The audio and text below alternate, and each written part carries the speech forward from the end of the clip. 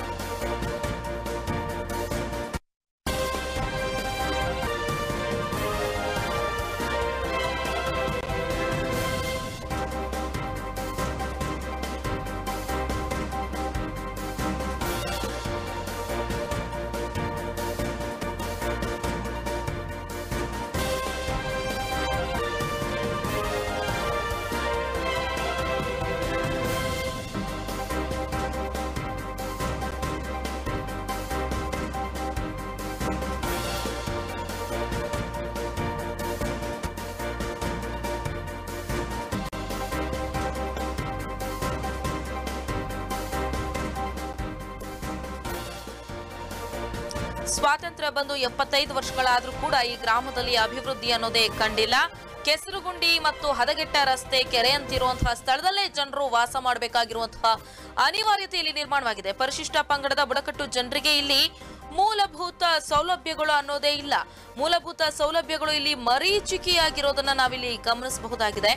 ಅದರ ಜೊತೆಗೆ ಗುಂಡ್ಲುಪೇಟೆ ತಾಲೂಕಿನ ಮದ್ದೂರು ಬುಡಕಟ್ಟು ಕಾಲೋನಿ ಅವ್ಯವಸ್ಥೆಯಲ್ಲಿ ಗ್ರಾಮಗಳ ಅಭಿವೃದ್ಧಿ ಕುರಿತು ಗ್ರಾಮ ಪಂಚಾಯತಿಗಳ ಯೋಚನೆ ಮಾಡ್ತಾ ಇಲ್ಲ ಅನ್ನುವಂಥದ್ದು ವಿಪರ್ಯಾಸದ ವಿಷಯ. ಬೇರಂಬಾಡಿ ಗ್ರಾಮ ಪಂಚಾಯಿತಿ ಹೆಸರು ಮುನ್ನೆಲೆಗೆ ಬರ್ತಾ ಇದೆ. ಇದರ ಜೊತೆ ಗ್ರಾಮ ಪಂಚಾಯತಿಯನ್ನ ಸೇರುವಂತಹ ಏನು ಕಾಲೋನಿ ಇದೆಯಲ್ಲ, ಅದು ಕೂಡ ಅಭಿವೃದ್ಧಿಯ ಭಾಗ್ಯವನ್ನ ಪಡ್ಕೊಳ್ತಾ ಇಲ್ಲ ಅಂತ ಅಲ್ಲಿನ ಜನರು ಕೂಡ ತೀವ್ರ ಬೇಸರವನ್ನ ವ್ಯಕ್ತಪಡಿಸ್ತಾ ಇದ್ದಾರೆ. ಶತಮಾನದಿಂದಲೂ ಅಭಿವೃದ್ಧಿಯನ್ನ ಕಂಡೇ ಇಲ್ಲ ಈ ಒಂದು ಕಾಲೋನಿ. ಈ ಗ್ರಾಮದಲ್ಲಿ ಸುಮಾರು ಮುನ್ನೂರು ಕುಟುಂಬಗಳು ವಾಸ ಮಾಡ್ತಾ ಇದೆ. ಕಾಲೋನಿಯಲ್ಲಿ ಮೂಲ ಸೌಕರ್ಯಗಳ ಸಮಸ್ಯೆಗಳೇ ಎದ್ದು ಕಾಣ್ತಾ ಇದೆ. ಗ್ರಾಮ ಸ್ವರಾಜ್ಯ ಪರಿಕಲ್ಪನೆಯ ಕನಸು ಕೂಡ ಇನ್ನೂ ನನಸಾಗಿಲ್ಲ ಇಲ್ಲಿ. ಇಲ್ಲಿ ಸ್ವಚ್ಛ ಭಾರತ ಪದಕ್ಕೆ ಕವಡೆ ಕಾಸಿನ ಕಿಮ್ಮತ್ ಕೂಡ ಇಲ್ಲ ಅನ್ನುವಂತಾಗಿದೆ. ಚರಂಡಿಗಳಿದೆ, ಆದ್ರೆ ನಿರ್ಲಕ್ಷ್ಯದಿಂದ ಕೊಳಚೆ ನೀರು ತುಂಬಿ ಕೊಳತು ನಾರ್ತಾ ಇದೆ. ಶಾಲೆಗೆ ಹೋಗೋ ಮಕ್ಕಳು ಸಾರಿಗೆ ವ್ಯವಸ್ಥೆ ಇಲ್ಲದೆ ಪರದಾಟ ನಡೆಸುವಂತಹ ಪರಿಸ್ಥಿತಿ ನಿರ್ಮಾಣವಾಗಿದೆ. ಪ್ರತಿದಿನ ಶಾಲೆಗೆ ನಡೆದು ಹೋಗೋ ಮಕ್ಕಳ ಗೋಳು ಕೇಳೋರು ಕೂಡ ಇಲ್ಲ ಇಲ್ಲಿ. ಯಾಕೆ ಹಿಂಗ ಆಗ್ತಾ ಇದೆ ಅಂತ ಅಧಿಕಾರಿಗಳ ನಿರ್ಲಕ್ಷ್ಯತನಕ್ಕೆ ಈ ಗ್ರಾಮನೇ ಒಂದು ಜೀವಂತ ಉದಾಹರಣೆಯಾಗಿದೆ. ಇನ್ನು ಅಧಿಕಾರಿಗಳ ನಿರ್ಲಕ್ಷ್ಯಕ್ಕೆ ಕೈಗನ್ನಡಿ ಹಿಡಿದಿರುವಂತಹ ಒಂದು ಪ್ರಕರಣವನ್ನ ನಾವು ಇವಾಗ ನೋಡ್ತಾ ಇದೀವಿ. ಆ ಥರದೊಂದು ಘಟನೆ ಮತ್ತು ಸನ್ನಿವೇಶ ಈಗ ನಿರ್ಮಾಣ ಆಗಿರೋದು. ಈ ಬಗ್ಗೆ ನಮ್ಮ ಪ್ರತಿನಿಧಿ ಅಲ್ಲಿನ ಜನರ ಜೊತೆ ಮಾತುಕತೆ ನಡೆಸಿದ್ದಾರೆ. ಸೊ ಈ ಒಂದು ಚಿಟ್ಚಾಟ್ ಇದೆ ವೀಕ್ಷಕರೇ ನಾವು ಇವತ್ತು ಗುಂಡ್ಲುಪೇಟೆ ತಾಲೂಕಿನ ಬೇರಂಬಡಿ ಗ್ರಾಮ ಪಂಚಾಯತಿ ವ್ಯಾಪ್ತಿ ಬರುವಂತ ಮದ್ದೂರು ಕಾಲೋನಿ ಅಂತ ಒಂದು ಪರಿಶಿಷ್ಟ ವರ್ಗಗಳ ಒಂದು ಕಾಲೋನಿ ಇದು ಗ್ರಾಮ. ಇದು ಗುಂಡ್ಲುಪೇಟೆಯಿಂದ ಸುಮಾರು ಒಂದು ಹದಿನೆಂಟು ಕಿಲೋಮೀಟರ್ ದೂರದಲ್ಲಿರುವಂಥ ಒಂದು ಗ್ರಾಮವಾಗಿದೆ. ಇಲ್ಲಿ ನೀವು ಕಾಣ್ಬೋದು, ಇಲ್ಲಿ ಏನಿದ್ರು ಪರಿಶಿಷ್ಟ ವರ್ಗದ ಜನಾಂಗದವರು ಇಲ್ಲಿ ಹೆಚ್ಚಾಗಿ ವಾಸ ಮಾಡುವಂಥ ಒಂದು ಗ್ರಾಮ. ಇಲ್ಲಿ ಸರ್ಕಾರಗಳು, ನಮ್ಮ ನಾಳುವ ಸರ್ಕಾರಗಳು ಗುಡಿಸಲು ಮುಕ್ತ ರಾಜ್ಯ ಮತ್ತು ಗುಡಿಸಲು ಮುಕ್ತ ಗ್ರಾಮಗಳು ಅಂತ ಒಂದು ಧ್ಯೇಯವಾಕ್ಯವನ್ನು ಇಟ್ಕೊಂಡು ಕೆಲವೊಂದು ಆಶ್ವಾಸನೆಗಳನ್ನು ಕೊಡ್ತಾ ಬರ್ತಾರೆ. ಆದರೆ ಇಲ್ಲಿ ನೀವು ಗಮನಿಸ್ಬೋದು, ಕೆಲವೊಂದು ಈಗ ಸರ್ಕಾರದಿಂದ ಏನು ಅನುದಾನ ಬರುತ್ತೆ, ಆ ಅನುದಾನಗಳು ಸಮರ್ಪಕವಾಗಿ ಪರಿಶಿಷ್ಟ ವರ್ಗಗಳ ಜನರಿಗೆ ತಲುಪಿಲ್ಲ ಅಂತಲೇ ಹೇಳುವಂಥ ಒಂದು ದೃಶ್ಯಗಳು ಇಲ್ಲಿ ನೀವು ಗಮನಿಸ್ಬೋದಾಗಿದೆ. ಈಗ ನೋಡಿ ಬೇರಂಬಾಡಿ ಗ್ರಾಮ ಪಂಚಾಯಿತಿ ವ್ಯಾಪ್ತಿಗೆ ಬರುವಂಥ ಈ ಗ್ರಾಮ, ಗ್ರಾಮದಲ್ಲಿ ಈಗ ಸ್ವಚ್ಛತೆ ಅನ್ನೋದೇ ಒಂದು ಮರೀಚಿಕೆಯಾಗಿ ಹೋಗಿದೆ. ವೀಕ್ಷಕ ನೀವು ಇಲ್ಲಿ ನಾನು ಈಗ ಇಲ್ಲಿ ಏನೇನು ಅಧ್ವಾನಗಳನ್ನು ತೋರಿಸ್ತಾ ಹೋಗ್ತೀನಿ.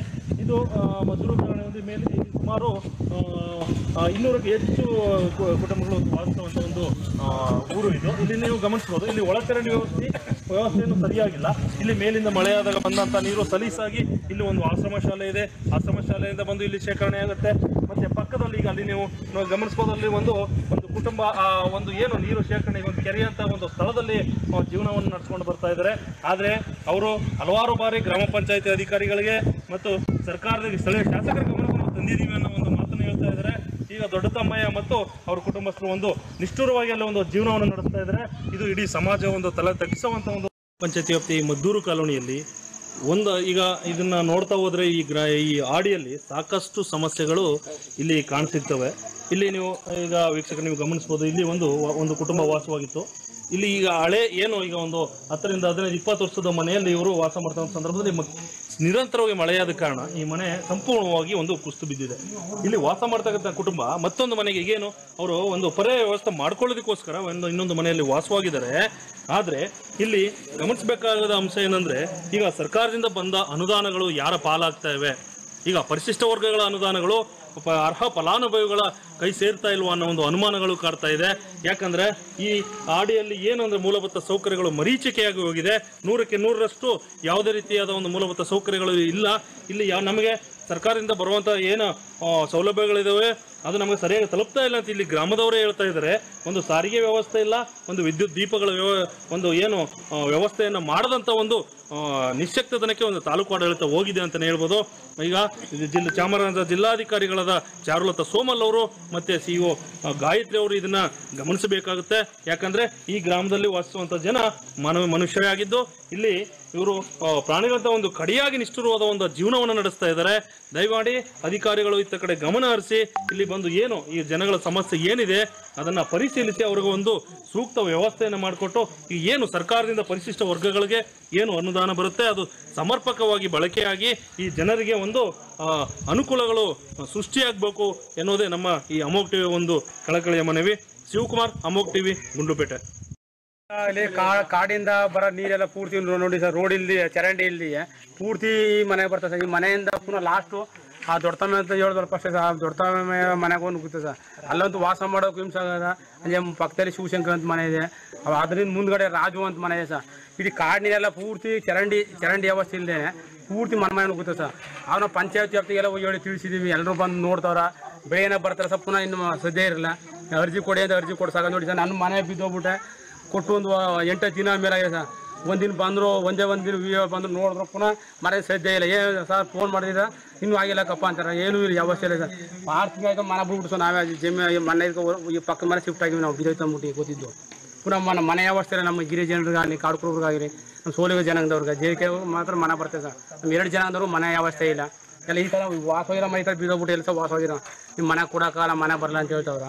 ದಯಮಾಡಿ ನಮಗೂ ಕಾಡ್ಕೊಂಡು ಬರುವಾಗ ಸೂರ್ಯ ಜನಾಂಗದವ್ರು, ಎರಡು ಜನಾಂಗದವ್ರಿಗೂ ಮನೆ ವ್ಯವಸ್ಥೆ ಮಾಡಿಕೊಟ್ಟು ತುಂಬ ಸರ್ಕಾರ ಒಳ್ಳೆಯದು ಅಂತ ಹೇಳ್ತೀನಿ ಇದೇ ಥರ ನಮ್ಮ ಶಾಸಕರು ಬಂದು ನಮ್ಮ ಊರಿಗೆ ಬಂದು ಒಂದು ಒಂದು ದಿನ ಭೇಟಿ ನೀಡಬೇಕು ಸರ್. ಬಂದು ಇದು ವ್ಯವಸ್ಥೆಗಳನ್ನ ನೋಡಬೇಕು. ಕುಂದುಕೊರತೆ ಗ್ರಾಮದಲ್ಲಿ ಇರೋ ಕುಂದುಕೊರತೆ ವ್ಯವಸ್ಥೆಗಳು ಏನಂತ ಬಂದು ನಮ್ಮ ಶಾಸಕರು ಬಂದು ಒಂದಿನ ಭೇಟಿ ನೀಡಬೇಕು ಸರ್. ಒಂದು ನೋಡ್ಕೋದ್ರೆ ಜನ ಕಷ್ಟ, ಸ್ವಲ್ಪ ಅರ್ಥ ಆಯ್ತು ಅವ್ರಿಗೂ. ದಯಮಾಡಿ ಮೇಲೆ ಬಸ್ಸಿನ ವ್ಯವಸ್ಥೆ ಮಕ್ಕಳಿಗೆ ಇಪ್ಪತ್ತು ಮೂವತ್ತು ಹುಡುಗರು ನಡ್ಕೊಂಡು ಹೋಗ್ತಾವ ಮಳೆ ಅನ್ಕೊ ಬರ್ತಾವ. ನಾಲ್ಕು ಕಿಲೋಮೀಟರ್ ನಡಿಬೇಕು ಸರ್. ಬೆಳಗಿನ ಒಂದು ಬಸ್ ಬರ್ತಾ ಬಂದ್ಬಿಟ್ಟು ಅವನು ಒಂದು ಆರೇನೇ ಇಲ್ಲ ಏನಿಲ್ಲ ಬರ್ತಾನೆ ಐದು ನಿಮಿಷ ಹಿಡಿಸೋದು ಕಷ್ಟ. ಕೊಡೋಯ್ತಾನೆ ಉಳ್ಕೊಂಡು ಐಕ ನಡ್ಕೊಂಡು ಕಗುಲ್ದುಂಡಿವ್ರಿಗೆ ಹೋಗ್ಬೇಕು. ಅತ್ತಿಂದ ನಮ್ಮ ಕೇರಳ ಬತ್ತೆ ರೋಡ್ಲಿ ಬಸ್ ವ್ಯವಸ್ಥೆ ಅಲ್ಲಿ ಕಾರ್ನ ವ್ಯವಸ್ಥೆ ಕೇರಳದವ್ರು ರೇಟ್ ಜಾಸ್ತಿ. ಆಗ ನಡ್ಕೊಂಡೇ ಬರ್ಬೇಕು ಸರ್ ರೋಡ್ ಸೈಡ್ಲಿ ಲಾರಿ ಗೀರಿ ಎಲ್ಲ ಬರ್ತಾವ. ಬಸ್ ವ್ಯವಸ್ಥೆ ಆಗಬೇಕು. ಹಂಗೆ ನಮ್ಮ ಸ್ವಲ್ಪ ಮನೆ ವ್ಯವಸ್ಥೆ ಮೇನ್ ಸಹ ಮನೆ ವ್ಯವಸ್ಥೆ. ಆಮೇಲೆ ಚರಂಡಿ ವ್ಯವಸ್ಥೆ ಆಗಬೇಕು. ಆ, ಪುನಃ ಇನ್ನು ಬೀದಿ ದೀಪದ ಹಾಕಿದ್ರೆ ಇವಾಗ ತಾನೇ ಒಂದು ವಾರದಿಂದ ಹಾಕವ್ರ. ಅದಕ್ಕೂ ಮೊದಲು ಒಂದು ಹದಿನೈದು ಇಪ್ಪತ್ತು ದಿನ ಕಾಲ ಕತ್ಲೆಲ್ಲ ಇದ್ದು ಊರ ಪೂರ್ತಿ. ಕಾಡು ಕಾಣ, ಕಾಡು ಜನ ಕಾಡಲೇ ಇದ್ದು ಹೊಟ್ಟದಿ ಈಗ ಎಲ್ಲ ನಾವು ಗ್ರಾಮದವ್ರು ಹೇಳಿದ ಮೇಲೆ ಸ್ವಲ್ಪ ಲೈಟ್ ಗಿಡ ಉಳಿತದ ಎಸ್, ಸ್ವಾತಂತ್ರ್ಯ ಬಂದು ಎಪ್ಪತ್ತೈದು ವರ್ಷ ಆಯ್ತು. ನಾವೆಲ್ಲ ಅಮೃತ ಮಹೋತ್ಸವ ಅಂತ ಸಂಭ್ರಮಿಸ್ತೀವಿ. ಮತ್ತು ತಿರಂಗವನ್ನ ಪೂಜಿಸ್ತೀವಿ, ಆರಾಧಿಸ್ತೀವಿ, ದೇಶ ಪ್ರೇಮ ತೋರಿಸ್ತೀವಿ. ಆದ್ರೆ ಜನಗಳಿಗೆ ಮೂಲಭೂತ ಸೌಕರ್ಯ ವ್ಯವಸ್ಥೆನ ಕಲ್ಪಿಸೋಕೆ ಆಗ್ತಾ ಇಲ್ಲ. ಆ ಪಕ್ಷ, ಈ ಪಕ್ಷ, ಆ ರಾಜಕಾರಣಿ, ಅಧಿಕಾರಿ ಅಂತೆಲ್ಲ ಹೊಗಳ್ತೀವಿ ಹೊಗಳಿ ಅಟ್ಟಕ್ಕೇರಿಸ್ತೀವಿ ಆದರೆ ಜನತೆ ದಿನನಿತ್ಯ ಪರಿಪಾಟ್ಲು ಪಟ್ಕೊಂಡು ಬದುಕ್ತಾನೆ ಇದ್ದಾರೆ. So India is developing country and still ಇವತ್ತಿಗೂ ಮುಂದೆ ಇನ್ನೂ ಒಂದು ದಶಕ ಆದರೂ ಎರಡು ದಶಕ ಆದರೂ ಹಿಂಗೆ ಇರಬೇಕು ಪರಿಸ್ಥಿತಿ. ಯಾಕೆ ಬದಲಾವಣೆಗಳು ಕಾಣ್ತಾ ಇಲ್ಲ? ಸೊ ಈ ಒಂದು ದೃಶ್ಯ ನೀವೀಗ ನೋಡ್ತಾ ಇರುವಂಥದ್ದು ಗುಂಡ್ಲುಪೇಟೆ ತಾಲೂಕಿನ ಮದ್ದೂರು ಬುಡಕಟ್ಟು ಕಾಲೋನಿಯ ಒಂದು ಅವ್ಯವಸ್ಥೆ. ಸೊ ಬುಡಕಟ್ಟು ಜನಾಂಗ ಅಂದ್ರೆ ಈಗ ಎಲ್ರಿಗೂ ಗೊತ್ತು, ಬಹಳ ಹಿಂದುಳಿದಿರುವಂತಹ ಒಂದು ವರ್ಗ. ಸಮಾಜದ ತಳ ಸಮುದಾಯದಲ್ಲಿ ಅವರನ್ನ ನಾವು ಗುರುತಿಸ್ಕೊಳ್ಳೋಕೆ ಬಿಟ್ಟಿರುವಂಥದ್ದು. ಯಾಕಂತಂದ್ರೆ ಅವ್ರಿಗೆ ಕೊಡುವಂತಹ ಫೆಸಿಲಿಟಿ ಆಗಿರಲಿ, ಅವ್ರಿಗೆ ಕೊಡುವಂತಹ ಮರ್ಯಾದೆಗಳಾಗಿರ್ಲಿ, ಅವ್ರಿಗೆ ಕೊಡುವಂತಹ ಆಪರ್ಚುನಿಟಿಗಳಾಗಲಿ ಇನ್ನೂ ಯಥೇಚ್ಛವಾಗಿ ಬೆಳಿಬೇಕು. ಸೊ ಅದೆಲ್ಲ ನೆಕ್ಸ್ಟ್ ಪ್ರಶ್ನೆ ಆಗುತ್ತೆ. ಅಟ್ಲೀಸ್ಟ್ ಅವ್ರು ಇರುವಂತಹ ಒಂದು ಜಾಗ, ಇರೋದಕ್ಕೆ ಬೇಕಾಗಿರುವಂತಹ ಮೂಲಭೂತ ಸೌಕರ್ಯಗಳ ವ್ಯವಸ್ಥೆ ಇದನ್ನು ಕೂಡ ಕಲ್ಪಿಸೋಕೆ ಸಾಧ್ಯ ಆಗ್ತಾ ಇಲ್ಲ ಅಂದಾಗ ನಿಜವಾಗ್ಲೂ ಇದು ಅಧಿಕಾರಿಶಾಹಿ ಮತ್ತು ಉಳ್ಳವರ ಬಂಡವಾಳಸ್ತ್ರ ಪರವಾಗಿರುವಂತಹ ಒಂದು ನಡೆ ಅಂತ ಹೇಳಿದ್ರೆ ತಪ್ಪಾಗ್ಲಿಕ್ಕಿಲ್ಲ.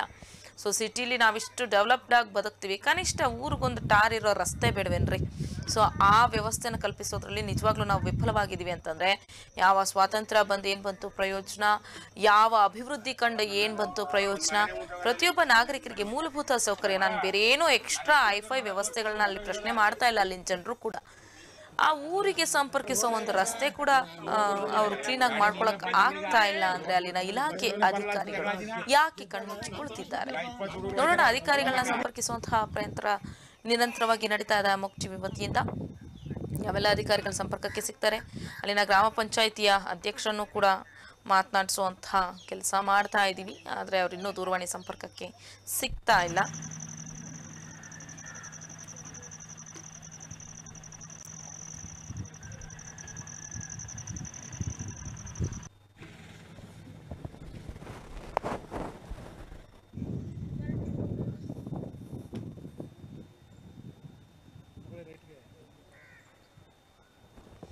ಸೊ ಈ ಬಗ್ಗೆ ಮಾತನಾಡಲಿಕ್ಕೆ ಬೇರಂಬಾಡಿ ಗ್ರಾಮ ಪಂಚಾಯತಿ ಅಧ್ಯಕ್ಷೆ ಸಂಜು ಕುಮಾರಿ ಅವರು ನಮ್ಮ ದೂರವಾಣಿ ಸಂಪರ್ಕದಲ್ಲಿದ್ದಾರೆ. ನಮಸ್ತೆ ಸಂಜು ಕುಮಾರಿ ಅವರೇ. ನಮಸ್ಕಾರ ಮೇಡಮ್ ಹೇಳಿ. ಏನಿದು ರಸ್ತೆ ಸಂಪರ್ಕ? ಒಂದು ಕಾಲೋನಿಗೆ ಕನೆಕ್ಟ್ ಆಗುವಂತಹ ರಸ್ತೆ ಕೂಡ ಸರಿಯಾಗಿ ನಿರ್ಮಾಣ ಆಗಿಲ್ಲ ಅಂತ ಜನರು ಅಲ್ಲಿ ಆ ಬೇಡಿಕೆ ಇಡ್ತಾ ಇದ್ದಾರೆ. ಬಹುಶಃ ನಿಮ್ ಗಮನಕ್ಕೂ ಕೂಡ ತಂದಿರ್ತಾರೆ ಈ ವಿಷಯ ಅಂತ ನಾನು ಭಾವಿಸ್ತೀನಿ. ಹೌದು ಹೌದು. ಅಲ್ಲಿರೋರೆಲ್ಲ ತುಂಬಾ ಬಡವರು ಆಮೇಲೆ ಬುಡಕಟ್ಟು ಜನಾಂಗದವರು. ಹ್ಮ್. ನಾವು ತುಂಬಾ ಪ್ರಯತ್ನ ಪಡ್ತೀವಿ ಇದು ಗ್ರಾಮ ಪಂಚಾಯತಿ ಮಟ್ಟದಲ್ಲಿ ಆಗಲ್ಲ. ಹ್ಮ್. ಅದಕ್ಕೋಸ್ಕರ ಸರ್ಕಾರದವ್ರು ಏನಾದ್ರು ಸಹಾಯ ಮಾಡಿದ್ರೆ ಖಂಡಿತ ನಿಂತ್ಕೊಂಡು ಮಾಡಿಸ್ತೀವಿ ಈ ವಿಷಯನ ಅಲ್ಲಿನ ಶಾಸಕರ ಗಮನಕ್ಕೆ ತಂದ್ರಾ? ಶಾಸಕರ ಗಮನಕ್ಕೆ ಒಂದ್ಸರಿ ಹೋಗಿದ್ದೀವಿ ಹ್ಮ್. ಮತ್ತೆ ಹೋಗಿ ಹೇಳ್ಬಿಟ್ಟು ನಾವು ಪ್ರಯತ್ನ ಬರ್ತೀವಿ ಮೇಡಮ್ ಯಾರು ಮೇಡಮ್ ಶಾಸಕರು? ಶಾಸಕರು ಶಾಸಕರು ಯಾರು ಮೇಡಮ್ ಅಲ್ಲಿ? ನಿರಂಜನ್ ಕುಮಾರ್. ಓಕೆ ನಿರಂಜನ್ ಕುಮಾರ್ ಅವರು ನಾನು ಕೇಳಿರುವಂತಹ ಮಟ್ಟಿಗೆ ತುಂಬಾ ಜನಸ್ನೇಹಿ ಮತ್ತು ಮರಗ್ತಾರೆ. ಈ ತರ ಯಾರಾದ್ರೂ ಕಷ್ಟದಲ್ಲಿದ್ದಾರೆ ಜನತೆ ಅಂದ್ರೆ ಅವರಿಗೆ ಬೇಕಿರುವಂತಹ ವ್ಯವಸ್ಥೆನ ಕಲ್ಪಿಸ್ತಾರೆ ಅನ್ನೋದು ಒಂದು ಹೆಸರನ್ನು ಪಡೆದುಕೊಂಡಿದ್ದಾರೆ. ಹ್ಮ್. ಅವ್ರಿಗೂ ಗಮನಕ್ಕೆ ಬಂದಿಲ್ಲ ಇದು. ಹ್ಮ್. ನಮಗೂ ಹೇಳಿಲ್ಲ ವಿಷಯನ. ನಾವು ಹೋಗಿ ನೋಡ್ಬಿಟ್ಟು ಅವ್ರಿಗೂ ತಿಳಿಸ್ತೀನಿ ಎಲ್ಲರಿಗೂ ಡಿಸಿ ಅವ್ರಿಗೆ ಹೇಳ್ಬಿಟ್ಟು ಮೇಡಮ್ ಗ್ರಾಮ ಪಂಚಾಯತಿ ಅಂದ್ರೆ ಚುನಾವಣೆ ಆಗಿ ಎಷ್ಟು ದಿವಸ ಆಯ್ತು ಅಧಿಕಾರಕ್ಕೆ ಬಂದ್ ಎಷ್ಟು ದಿವಸ ಆಯ್ತು ಪಾಪ ಇಲ್ಲಿನ ಜನ ಬೇರೆನೆ ಎಕ್ಸ್ಟ್ರಾ ಕೇಳ್ತಿಲ್ಲ ಅವ್ರಿಗೆ. ಸೂರುಗಳು ಇಲ್ಲ ಅಟ್ಲೀಸ್ಟ್ ಅವ್ರ ಅವ್ರಾಗ ಅವ್ರು ಕಟ್ಕೊಂಡಿರೋಂತ ಒಂದು ಹಕ್ಕಿ ಗುಡಂಗ್ ಮನೆಗಳನ್ನ ಕಟ್ಕೊಂಡವ್ರ ಪಾಪ. ಅದಕ್ಕೆ ಹೋಗಕ್ಕೂ ದಾರಿ ಇಲ್ಲ ಅಂತಂದ್ರೆ ಹೆಂಗೆ ಮೇಡಮ್ ನೀವು ಅಧ್ಯಕ್ಷರಾಗಿ ಆಕ್ಚುಲಿ ಈಗ ಹೆಂಗ್ ನಾವು ನಮ್ಮ ದೇಶಕ್ಕೆ ಪ್ರಥಮ ಪ್ರಜೆ ಅಂತ ಕರಿತೀವೋ ನಿಮ್ ಗ್ರಾಮಗಳಿಗೆ ನೀವೇ ಪ್ರಥಮ ಪ್ರಜೆ ಆಗಿರ್ತೀರಾ ಅಧ್ಯಕ್ಷರು ಇರ್ತೀರಾ ಅವ್ರಗಳಿಗೆ ಸ್ಪಂದಿಸ್ಬೇಕಾಗಿರುತ್ತೆ. ಹೌದು ನಿಮ್ಮ ಮಟ್ಟದಲ್ಲಿ ಮುಗಿಯಲ್ಲ ಬಟ್ ಯಾರಿಗ್ ನೀವು ಪ್ರೆಷರ್ ಹಾಕಬೇಕು ಯಾರಿಗ್ ಮನವಿ ಸಲ್ಲಿಸ್ಬೇಕು? ಅಷ್ಟು ಪ್ರಯತ್ನ ಪಡ್ತೀವಿ. ಅಂತ ಹೇಳಿದ್ರೆ ಯಾಕಂದ್ರೆ ನಾವು ಪ್ರಯತ್ನ ಪಡ್ತೀವಿ. ಸರ್ಕಾರ ಮಟ್ಟಕ್ಕೆ ಗಮನ ಹರಿಸ್ತೀವಿ. ಹ್ಮ್. ನಾವು ಪ್ರಯತ್ನ ಪಡ್ತೀವಿ. ಒಂದ್ ಎರಡ್ ಮೂರ್ ದಿವಸ ಶಾಸಕನ ಭೇಟಿ ಆಗ್ತೀವಿ ಭೇಟಿ ಆಗಿ ತಿಳಿಸ್ಬಿಟ್ಟು ನಾವು ಅದನ್ನ ಅವ್ರ ಗಮನ ಕೊಡ್ತೀವಿ ಮೇಡಮ್ ದಯವಿಟ್ಟು ಮಾಡಿ ಮೇಡಮ್ ಇಷ್ಟೊತ್ತಿಗೆ ಕೆಲಸ ಆಗ್ಬೇಕಾಗಿದ್ದಾಗ್ಲೇನೆ ಬಟ್ ಇದು ನಾವು ಮಾಡಲೇ ಮಾಡ್ತೀವಿ ಅದು. ದಯವಿಟ್ಟು ಮಾಡಿ. ಯಾಕಂತಂದ್ರೆ ಇದು ಮಾಧ್ಯಮದಲ್ಲಿ ಬಂದು ನಿಮ್ ಮುಖಾಂತರ ಬರೋದ್ಕಿಂತ ನಿಮ್ ಮುಖಾಂತರ ಈ ಕೆಲಸ ಆಗಿ ಮಾಧ್ಯಮದಲ್ಲಿ ಬಂದ್ರೆ ಹೆಂಗಿರುತ್ತದು? ಹೌದು. ಅಲ್ವಾ? ಈ ತರದೊಂದು ಮಾಡ್ಸಿದಾರಪ್ಪ ನೋಡಿ ಗ್ರಾಮ ಪಂಚಾಯತಿ ಅಧ್ಯಕ್ಷರು ಓಡಾಡಿದ್ರು ಅಧಿಕಾರಿಗಳು ಸಪೋರ್ಟ್ ತಗೊಂಡಿದ್ದಾರೆ ಅಲ್ಲಿನ ಜನಪ್ರತಿನಿಧಿಗಳು ಸಪೋರ್ಟ್ ತಗೊಂಡ್ರು ಸರ್ಕಾರದಿಂದ ರೋಡ್ ಮಾಡಿಸ್ಕೊಟ್ಟಿದ್ದಾರೆ ಅಂತ ಅಲ್ಲಿನ ಜನ ಖುಷಿಯಾಗಿ ಹೇಳ್ಕೊತಾರಲ್ಲ ಅಂಥದ್ದು ಬರ್ಬೇಕು ಟಿವಿಲಿ ಅದ್ಬಿಟ್ಟು ನಮ್ಗೆ ರೋಡ್ ಇಲ್ಲ ಈ ಥರದ್ದಿಲ್ಲ ಅಂದ್ರೆ ನಾವಿನ್ನೂ ಎಷ್ಟೆಷ್ಟೊಂದು ಡೆವಲಪ್ ಆಗಿರ್ತೀವಿ. ನಮ್ಮನೆ ದಾರಿನೇ ಸರಿ ಇಲ್ಲ ಅಂದ್ರೆ ನಾವು ಬಿಟ್ಬಿಡ್ತೀವ? ನಮ್ಮೂರ್ನು ಹಂಗೆ ನೋಡ್ಕೋಬೇಕಲ್ಲ ಮೇಡಮ್ ಅವರೇ. ಓಕೆ ಓಕೆ ಖಂಡಿತ ಮೇಡಮ್ ಖಂಡಿತ ಮಾಡ್ತೀನಿ. ದಯವಿಟ್ಟು ಜನ ಪಾಪ ಇನ್ನೇನ್ ಹೆಚ್ಚಿಗೆ ಕೇಳ್ತಿಲ್ಲ ಒಂದ್ ರಸ್ತೆ ಕೇಳ್ತಾ ಇದಾರೆ ದಯಮಾಡಿ ಅದೇನಂತೂ ಮೂಲಭೂತ ಸೌಕರ್ಯಗಳ ಕೊರತೆ ಏನ್ ಕಾಣ್ತಾ ಇದೆ ದಯವಿಟ್ಟು ನೋಡಿ ಯಾಕಂದ್ರೆ ಬುಡಕಟ್ಟು ಜನಾಂಗ ಅಂತ ಹೇಳ್ತೀವಿ. ನಿಮಗೂ ಗೊತ್ತು ನನಗೂ ಗೊತ್ತು ಸಮಾಜಕ್ಕೂ ಗೊತ್ತು. ಭೇಟಿ ಮಾಡ್ತೀನಿ. ಡಿ ಸಿ ಅದೇ ಎಲ್ಲ ಅಧಿಕಾರಿನೂ ಭೇಟಿ ಮಾಡಿ ಶಾಸಕರಿಗೂ ಹೇಳಿ ಎಲ್ಲ ಗಮನ ತರಿಸ್ಬಿಟ್ಟು ನಾವು ಖಂಡಿತ ಅದನ್ನ ಗಮನಕ್ಕೆ ತನ್ನಿ ಸಾಧ್ಯ ಆದ್ರೆ ಯಾವೆಲ್ಲ ಅಧಿಕಾರಿಗಳು ನಿಮ್ಮ ಕೈಗೆ ಎಟಕ್ತಾರೆ ಅವ್ರನ್ನ ದಯಮಾಡಿ ಆ ಗ್ರಾಮಕ್ಕೂ ಕರೆ ತನ್ನಿ. ತಂದು ಅಲ್ಲಿನ ಜನರ ಹತ್ರ ಬಿಡಿ ಮಾತಾಡ್ಲಿ ಏನ್ ಪರಿಸ್ಥಿತಿ ಇದೆ ಅಂತ ಗೊತ್ತಾಗ್ಲಿ. ಇಲ್ಲ ಇಲ್ಲಿನ ಜನರನ್ನೇ ಕರ್ಕೊಂಡೋಗಿ ಸಾರ್ ನನಗೆ ಹಿಂಗ ಹೇಳ್ತಿದ್ದಾರೆ ಮೇಡಮ್ ನನಗೆ ಹಿಂಗ ಹೇಳ್ತಿದ್ದಾರೆ ಅಂತ ಅವ್ರ ಮನವಿನ ನೇರ ನೇರ ಅಧಿಕಾರಿಗಳಿಗೆ ಮುಟ್ಸುವಂತ ಕೆಲಸ ಮಾಡಿ ಅಟ್ಲೀಸ್ಟ್ ಅವ್ರಿಗೆ ಇನ್ನೊಂಚೂರು ಇಂಪ್ಯಾಕ್ಟ್ ಜಾಸ್ತಿ ಆಗ್ಲಿ ವಿಷಯ ತಿಳಿಲಿ. ಸರಿ madam thank you so much madam thank you so much ಅಮ್ಮಕ್ TV ಜೊತೆ ಮಾತನಾಡಿದಕ್ಕಾಗಿ ಇದಿಷ್ಟು ಗ್ರಾಮ ಪಂಚಾಯತಿಯ ಅಧ್ಯಕ್ಷೆ ಸಂಜು ಕುಮಾರಿ ಅವರು. ಸೊ ಬಹುಶಃ ಇಷ್ಟೊತ್ತಿಗಾಗಲೇ ಮಾಡಬೇಕಾಗಿತ್ತು. ಗ್ರಾಮ ಪಂಚಾಯತಿ ಎಲೆಕ್ಷನ್ ಆಗಿ ಎಷ್ಟು ದಿವಸ ಆಯಿತು ಇವರು ಎಲೆಕ್ಟ್ ಆಗಿ ಎಷ್ಟು ದಿವಸ ಆಯಿತು. ಬಟ್ ಸ್ಟಿಲ್ ಆಯ್ತು, ಇಷ್ಟು ದಿವಸ ಆಯ್ತು. ಇನ್ನು ಮುಂದೆ ಏನು ಅನ್ನೋ ಪ್ರಶ್ನೆ ಯಾವಾಗಲೂ ಅಮೋಕ್ ಟಿವಿ ಕೇಳುವಂಥದ್ದು. ಹಳೆಯದು ಬೇಡ ಮುಂದೇನಾಗುತ್ತೆ ಅನ್ನೋದಕ್ಕೆ ಈಗ ಉತ್ತರಿಸಿರುವಂತಹ ಸಂಜು ಕುಮಾರಿ ಅವರು. ಈ ವಿಷಯಕ್ಕೆ ಸಂಬಂಧಪಟ್ಟಂತೆ ನಾನು ಸಂಬಂಧಪಟ್ಟಂತಹ ಅಧಿಕಾರಿ ಎಲ್ರಿಗೂ ಕೂಡ ಗಮನಕ್ಕೆ ತರ್ತೀನಿ. ಡಿ ಸಿ ಅವ್ರ ಗಮನಕ್ಕೂ ಕೂಡ ತರ್ತೀನಿ. ಅದರ ಜೊತೆಗೆ ಶಾಸಕರ ಗಮನಕ್ಕೂ ಕೂಡ ತರ್ತೀನಿ. ನಂತರದಲ್ಲಿ ಅಲ್ಲಿ ಒಂದು ಮೂಲಭೂತ ಸೌಕರ್ಯಗಳ ವ್ಯವಸ್ಥೆಯನ್ನು, ಒಂದು ರಸ್ತೆಯನ್ನ ಮಾಡುವಂತಹ ಕುರಿತು ನಾನು ಕ್ರಮಕ್ಕೆ ಒತ್ತಾಯಿಸ್ತೀನಿ ಅಂತ ತಿಳಿಸಿದ್ದಾರೆ.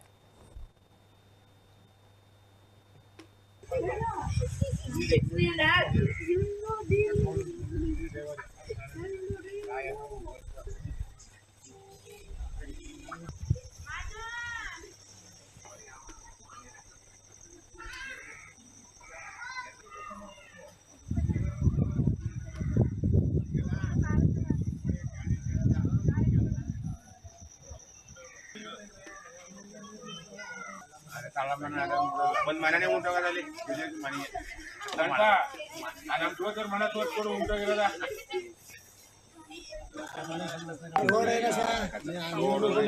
ಗಾಡಿ ನೀವೇ.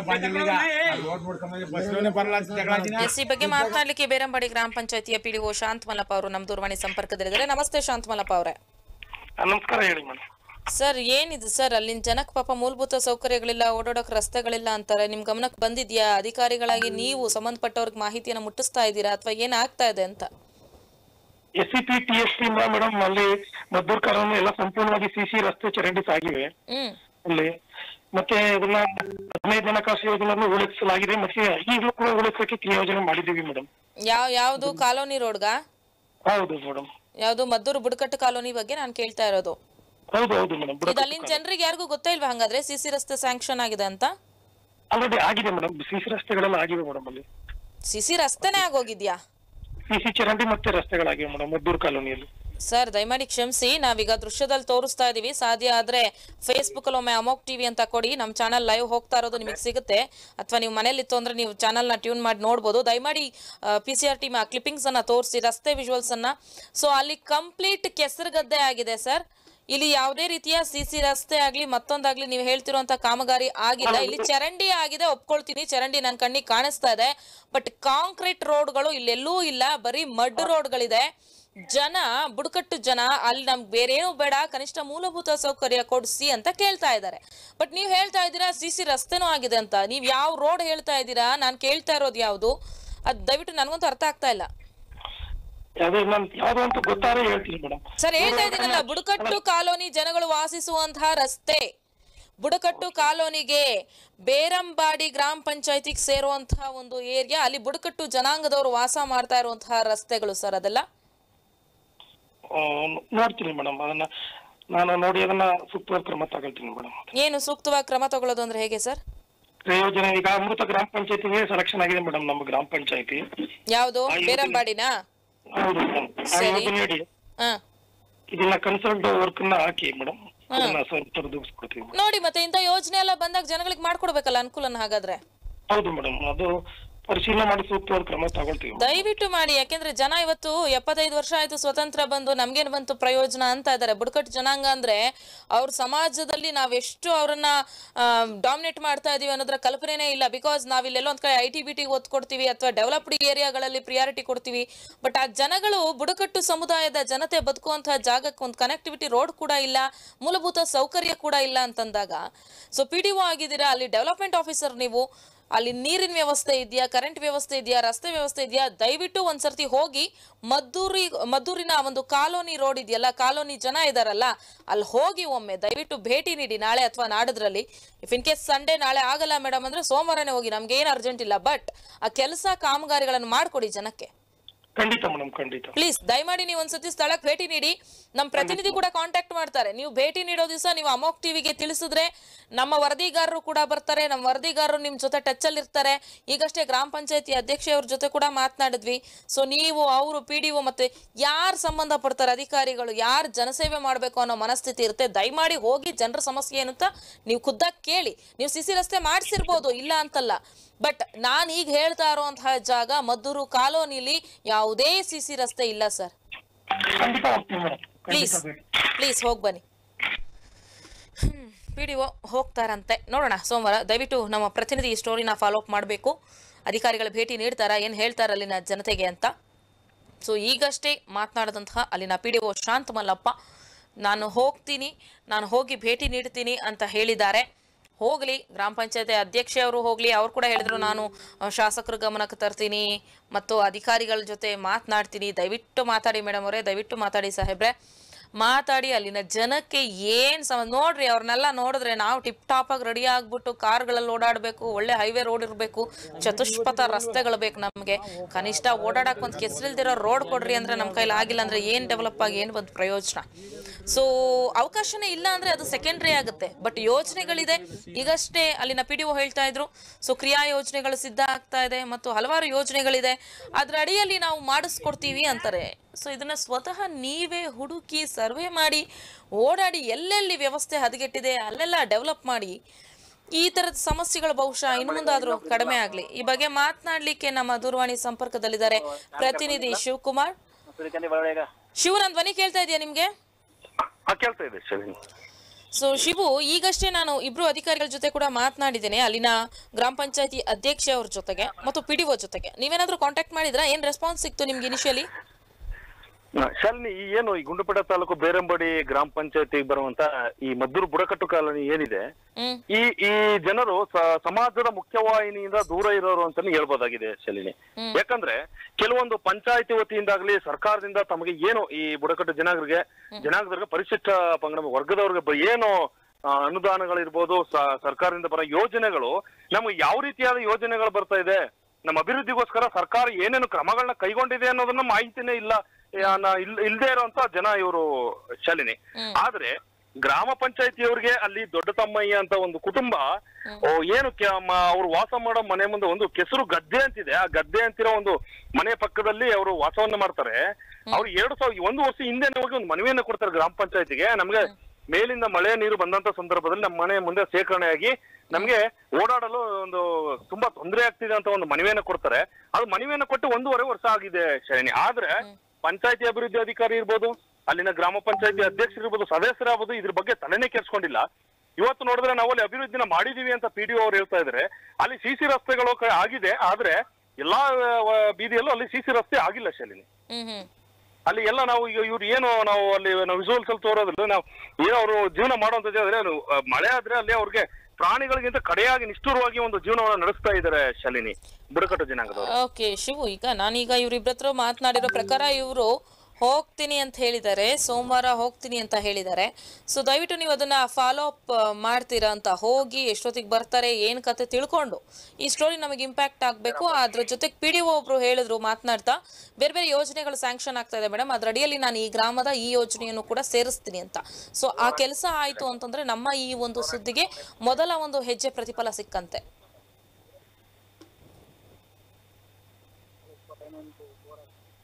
ಎನಿವೆ ಥ್ಯಾಂಕ್ ಯು ಶಿವಕುಮಾರ್ ನಿಮ್ಮೆಲ್ಲ ಅಪ್ಡೇಟ್ಸ್ಗಾಗಿ ಸೊ ನಮ್ಮ ಪ್ರತಿನಿಧಿ ಈ ಸ್ಟೋರಿಯನ್ನು ಫಾಲೋ ಅಪ್ ಮಾಡ್ತಾರೆ. ನಂತರದಲ್ಲಿ ಅಧಿಕಾರಿಗಳು ಯಾವ ರೀತಿ ರಿಯಾಕ್ಟ್ ಮಾಡ್ತಾರೆ ಅನ್ನೋದ್ರ ಕುರಿತಂತೆ ಮತ್ತೆ ನಾವು ಈ ಸುದ್ದಿಯನ್ನು ಕ್ಯಾರಿ ಮಾಡ್ತೀವಿ. ಅಲ್ಲಿನ ಜನತೆಗೆ ಅವರು ಬೇಡಿಕೆ ಇಟ್ಟಿರುವಂತಹ ಕನಿಷ್ಠ ಮೂಲಭೂತ ಸೌಕರ್ಯದ ವ್ಯವಸ್ಥೆಯನ್ನು ಕಲ್ಪಿಸುವಂತಹ ನಿಟ್ಟಿನಲ್ಲಿ ಅಮೋಕ್ ಟಿವಿ ಸದಾ ಜನರೊಟ್ಟಿಗಿರುತ್ತೆ.